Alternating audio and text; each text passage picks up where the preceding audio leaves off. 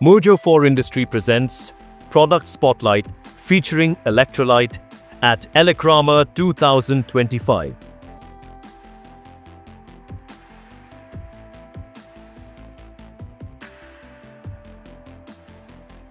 Hi, uh, I'm Ankit Saboo from Elektrolites. I'm the executive director. So we are a 60-year-old company uh, started by my grandfather. We started off uh, as traders and uh, now we are into host of other solutions. We started with manufacturing in 82 with uh, disconnectors, which we are now manufacturing up to 400 kV and uh, 765 kV very soon. We are also manufacturing surge arresters, uh, both design A and design B up to class 4, up to 400 kV. And again, uh, we are also venturing out into transmission line arresters, DC arresters and uh, even arresters up to 765 kV. Apart from our own manufacturing, uh, we have a position in the industry of being a solution provider. So that has led us to bring in a lot of technologies from all over the world. Uh, Portugal, Germany, Finland, Israel and many others. Here at Elecrama, we are showcasing all of our manufacturing, our other products and other technologies. So I will have the rest of my team tell you about them and uh, take you through the entire journey. My name is Shashi Kumar Vasudevan Pillai. India has gone through a, a lot of change as far as the arresters are concerned. We went through a change from porcelain to polymer and today we are looking at standard transmission line arresters also which is the future of any transmission line requirement. Every, every electricity or every utility would ask, why is a surge arrestor failing? Well, surge arresters are expected to fail to ensure that it saves the connected equipment. And you are supposed to replace the surge arrestor when it fails. We used to have uh, non-fail or uh, non-correct failures earlier because we used to have an arrestor built within a porcelain housing. Now the porcelain housing, if there is a leakage, will take in water or moisture and when it expands due to a fault occurring, the porcelain shatters which flies in all directions like a bullet and it uh, will penetrate anything what is in its way. Today we have arresters which are polymer housed where this total feature is totally uh, deleted or removed I should say from the design and you have a very safe arrestor which gives you a safe environment to work on. Also when you look at uh, a, a polymer arrestor which is supposed to be for a transmission line the biggest advantage you get is you don't get the weight of the porcelain coming onto the line polymeric uh, housing being lightweight almost reduces the total weight by half. It is fully type tested equipment as per IEEE, IEC and they perform the uh, functions 100% without giving any trouble to you and drawing out the surge voltages to the ground thereby ensuring your system remains uh, in shape and without any uh, disruption system. So this is the fault passage indicator. It functions, uh, it solves a very important uh, function in the power network, specifically in the distribution sector. So in a lot of installations, there are all kind of faults that keep happening. Because of that, there is a power loss or for either the utilities or even the power consumers. This particular product helps you identify the exact location of the fault and I'll tell you how it works. So these three indicators, they are called the fault indicators. So they are installed on each of the phase.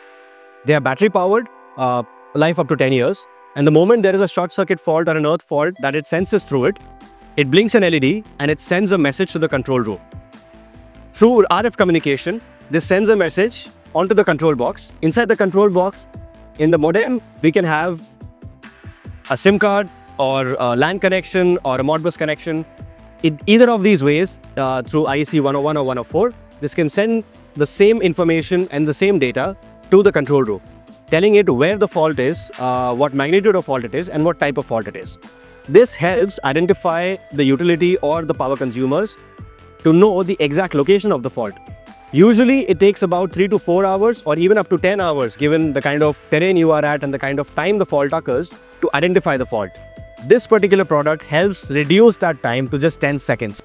My name is Christoph Driescher. I'm the representative of Driescher, Germany, and I'm very happy to be here to uh, present our new products here for the railway business uh, together with Elektrolites here on the booth.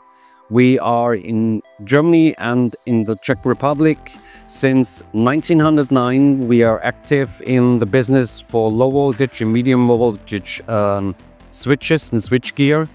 And also now since 1972 in the railway business. And the product we are showing here is one of the most modern products you can have for public transportation, for um, Delhi Metro is using it's uh, Mumbai Metro and many others and it's very reliable and uh, it's if it's about availability and reliability it's one of the best products you can have or can use for the public transportation it's a so-called vacuum load break switch so we're using a vacuum tube and having the advantages of a load break switch.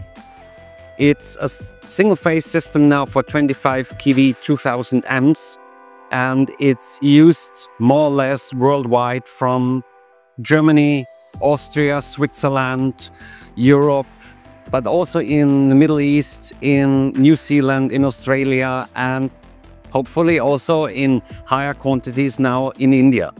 So good morning, my name is Alvin Joes and I'm a Senior Business Development Manager at uh, Noja Power.